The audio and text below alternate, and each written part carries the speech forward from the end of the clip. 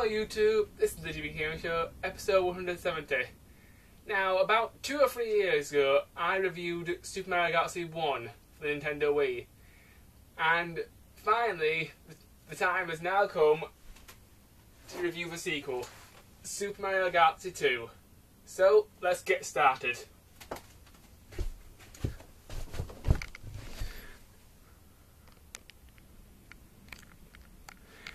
Right, YouTube, that's my Nintendo Wii, so let's start this review.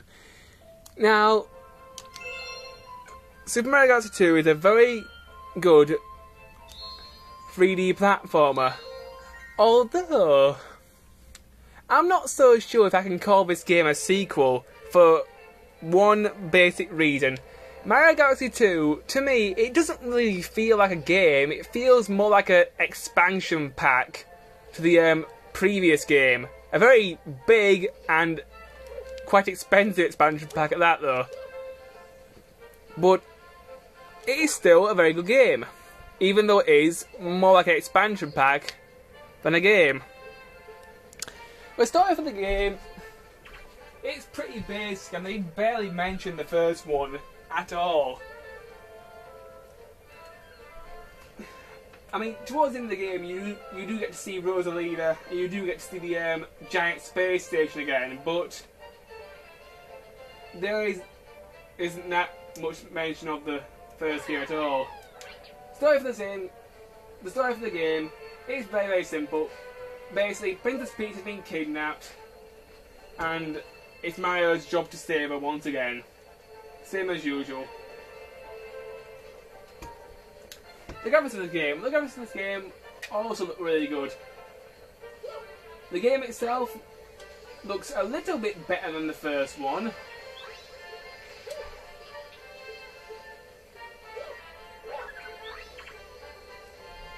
The multiplayer of this game is also pretty good. Uh, if you have a second Wii remote, your friend can jump in and help you on your quest. He, he can um, kill enemies for you, stop enemies for you, pick up star bits for you, and also shoot star bits. There is one level in particular towards the end of the game, if you do not have a second player, it is almost impossible to beat this level. You know which one I'm talking about if you played the game. Controls for this game, the controls for this game are also very good. Um, analog stick moves you around. Z button crouches, you can move whilst crouching. C button does nothing. A jumps. Press A twice to do double jump. One, two, three. Ju you can do a triple jump. Press A then Z to do a butt stomp. Shift them up to a spin, which is one of your main attacks. And run Z and A to do a long jump. Press B and point the screen to shoot star bits. One and two don't seem to do that much. And pause brings up the pause menu.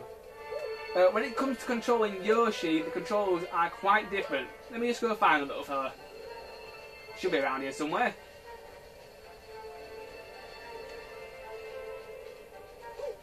Oh, there he is, as usual, sleeping his egg. Yoshi controls really well. Press jump, he jumps. Hold down the A whilst in jumping, can hover, which really helps. Yoshi can jump pretty high. You can move really fast. You can eat enemies with his tongue by just targeting with your pointer, which works really well.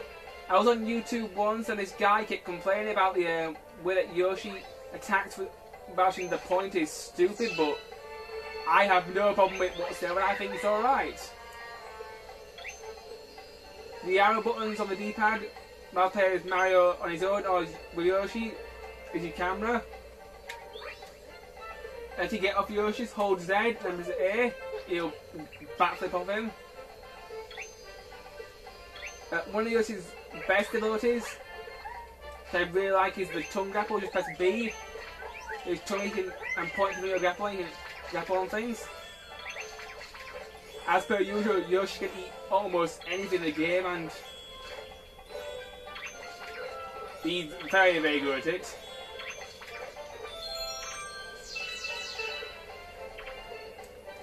The game of the game, well, the game of the game is very good.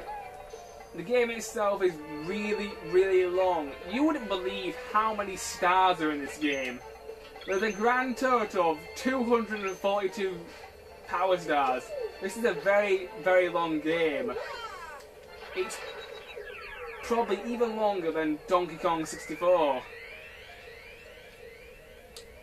Uh, the first game is absolutely awesome. There's a wide variety of tracks from the first Mario Galaxy. There's also a few new ones, and there's also some tracks from some of the 2D Mario games.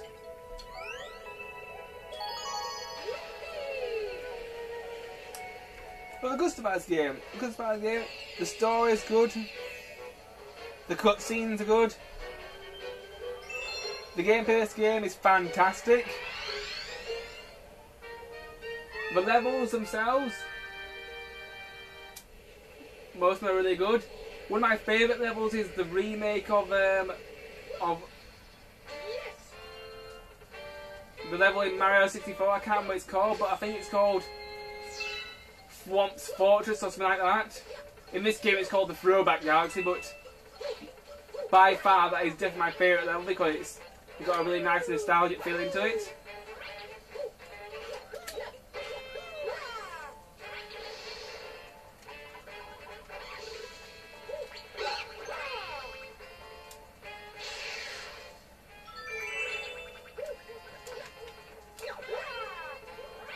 For some bizarre reason, Nintendo has also packaged a DVD with this game to teach people how to play the game. Personally, I think the DVD is a bit pointless, and you get the same thing if you just read the instruction manual, but I suppose it makes the game accessible to everybody. It's kind of a nice feature, but it's still pointless, I think.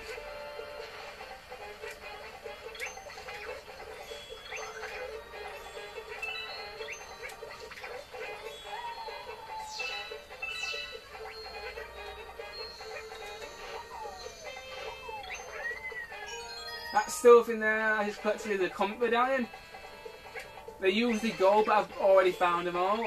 Throughout the game, the comet medallions are, are just a little collectible. You don't have to get them, but I think if you collect a certain number of them, you can unlock comet stars and unlock more stars for the actual game itself. So they do have a purpose, but they're not mandatory. If you want to beat the game itself without collecting all the stars, you only need 70.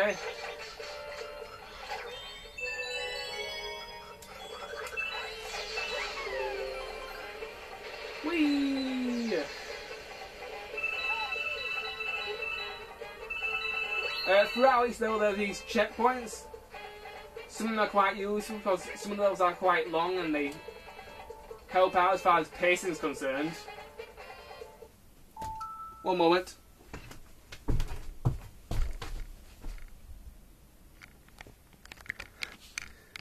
Alright, so about you two, I just had to go sort something out. Now back for the review. Pick up where I left off. Uh, the next thing I want to talk about is is the bosses. Some of the bosses in the game are quite difficult, and some of them are really, really easy.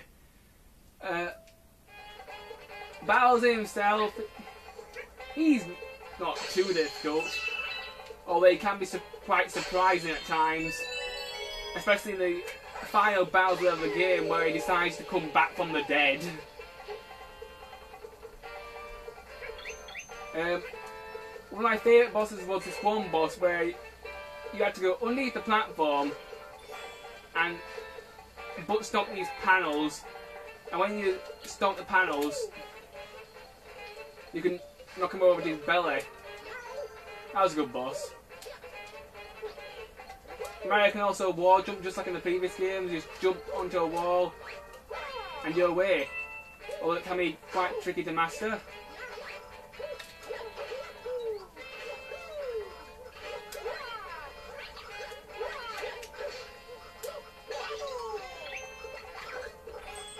Chow time!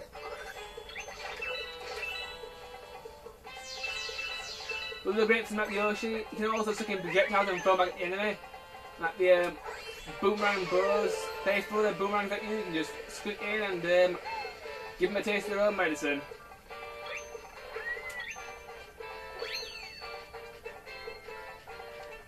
Also to help you through the game, if you're a little bit inexperienced at Mario games, in certain levels and on certain puzzles, there's hint TVs. And these hint TVs can help you with certain puzzles. I've only had to use them a, a few times, and they're pretty useful. I think they're a pretty good feature.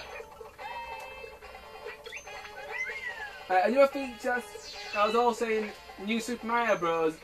is in the game as well, but only in certain levels. The feature is called the Cosmic Guide, and in certain levels and on certain stars, if you die a certain number of times, the game will give you the option to talk to Rosalina. You can talk to Rosalina, she will possess Mario and do the star for you. This will count as you beating the level, but instead of a gold power star, you'll get a bronze power star. And obviously you have the opportunity to go back to this level and try again if you if you wish.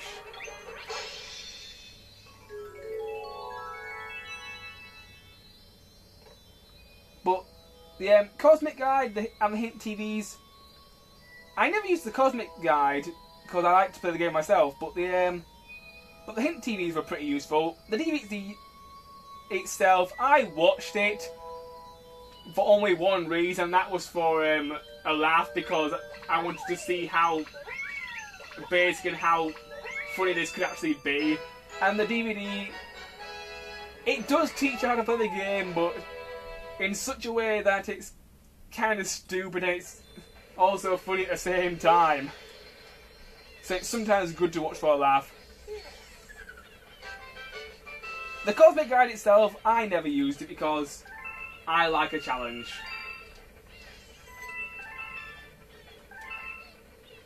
Um, the next thing I want to talk about YouTube is the hub world. The hub world in this game is tiny. It's just Mario's face made into a spaceship.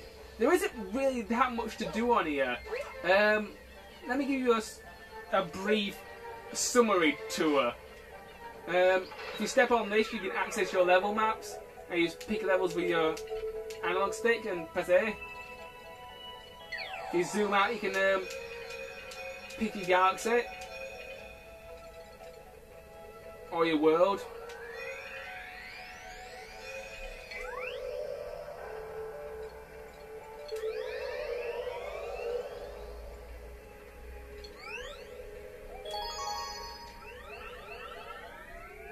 That's all that little pad's for. This guy here, he doesn't really do that much. This signpost, so you can keep track of all your stars and all your comet medallions.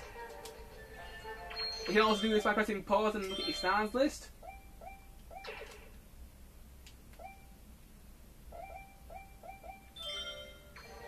Throughout the game, this is the mail toad. He'll um, give you letters from certain characters. Um, some letters were from characters in the game asking for help. And if you respond to those letters, you'll be rewarded with more stars. You also get letters from Rosalina, who most times give you some star bits so you can unlock levels.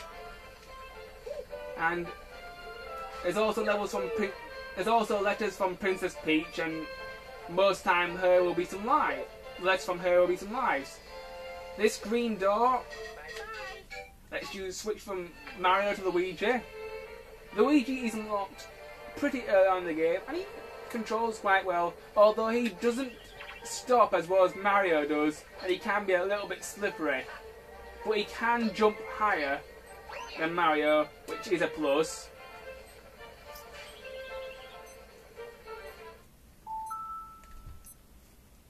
Anyway, YouTube, I ran out of time. The next part, I hope to finish off the review. See you then.